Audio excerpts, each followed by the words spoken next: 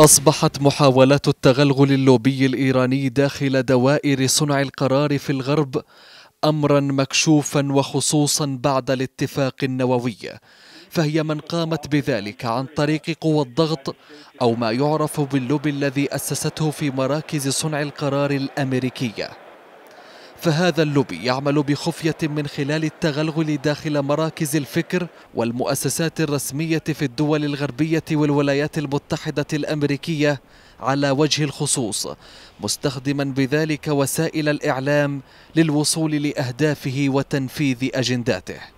كما يحظى العديد من الباحثين في الغرب بالدعم المالي من إيران بهدف تحسين صورة إيران لدى الغرب والدفاع عن مصالحها وإقناع الدول الغربية وأمريكا وأصحاب القرار في مجلس الكونغرس بضرورة بقاء نظام الملالي والتسوية معه حول تقسيم النفوذ في الشرق الأوسط وحماية المصالح الأمريكية.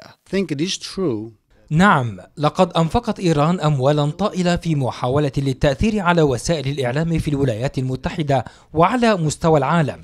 هناك بالتأكيد مصالح تجارية لمؤسسات ليست على علاقة مباشرة مع إيران لكنها تسعى للتأثير على قرارات الحكومة الأمريكية ودفعها لإقامة علاقات صداقة مع إيران.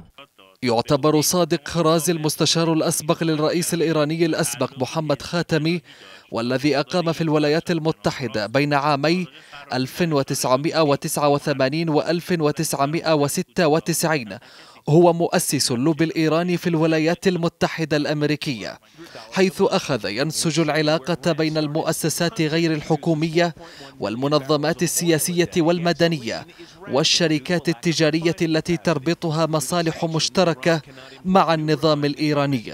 من أجل تقوية النفوذ هناك والتأثير على القرارات السياسية والرأي العام فيها وتشكيل لوبي إيراني بهدف جعله وسيلة ضغط سياسية واقتصادية وإعلامية. فقد وصل نشاط هذا اللوبي إلى أوجه في عهد الرئيس الإيراني محمد خاتمي ثم تراجع نشاطه في عهد أحمد نجاد لكن استعاد قوته ونشاطه في عهد روحاني بعد وصوله للسلطة في يونيو 2013 وتكثفت تحركاته بين الجالية الإيرانية في الولايات المتحدة وتجنيدهم للعمل لصالح سياسات نظام الملالي وأهدافه مستغلا بذلك الدافع القومي لديهم.